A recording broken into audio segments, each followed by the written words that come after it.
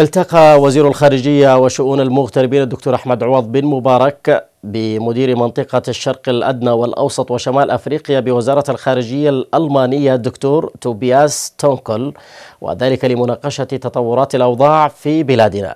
وخلال اللقاء استعرض وزير الخارجية الجهود المبذولة لإنهاء الحرب الناتجة عن العدوان الحوثي على الشعب اليمني مشيرا إلى أهمية توفير الظروف المواتية لتحقيق السلام ودعم الحكومة الشرعية سياسيا واقتصاديا. كما تطرق اللقاء إلى الدور التخريبي الإيراني في الملف اليمني وضرورة إنهاء الارتباط الحوثي بإيران لاستعادة الأمن والاستقرار في بلادنا.